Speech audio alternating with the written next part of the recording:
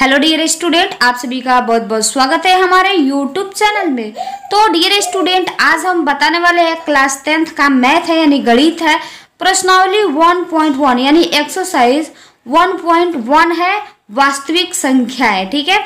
तो इसमें जो है, प्रश्नावली 1.1 में का जो पहला सवाल कर रहा है, निम्नलिखित संख्याओं का एस ज्ञात करने के लिए यूक्लिड विभाजन एल्गोरिथम का प्रयोग कीजिए, ठीक है? तो हमने पहला बता दिया है, ठीक है? पहला में पहला हमने बता दिया है और दूसरा आज बताने वाले हैं। एक सौ छियानवे और अड़तीस हज़ार दो सौ बीस, यही है, इससे हल करना है। तो सबसे पहले हम यहाँ पे लिखेंगे हल, ठीक है?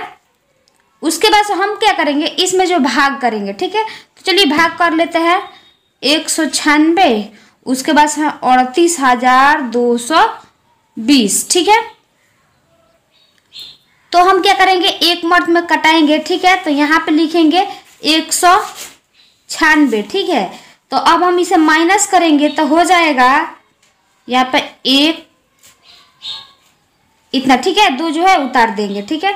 अब हम क्या करेंगे? फिर इसे जो है नौ मर्द में ले जाएँगे तो हो जाएगा सत्रह चौंसठ, ठीक है?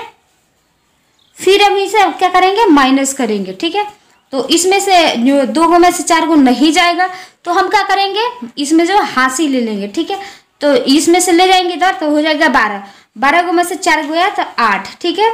तो अब ये बच गया जो है पाँच बच गया ठीक है? तो इसमें से हासिल लेंगे इसमें से हासिल लेंगे तो हो जाएगा तो यहाँ पे हम लिखेंगे नौ ठीक है?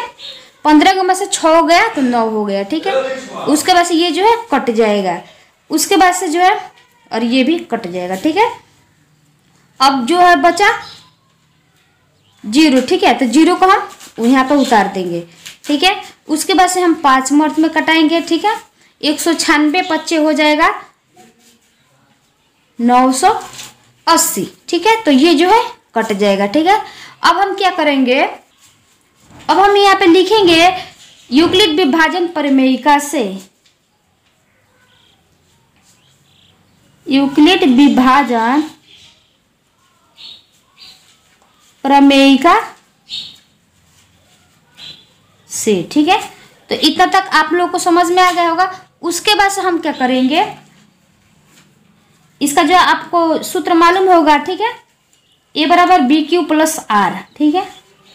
उसके बाद हम यहाँ पे लिखेंगे एक सौ छियानवे गुड़े एक सौ पंचानवे प्लस ज़ीरो ठीक है? इसलिए जो है शेषफल शेषफल बराबर ज़ीरो। तो हो जाएगा H C F H C F जो है एक सौ छियानवे कम है अड़तीस हज़ार दो सौ बीस।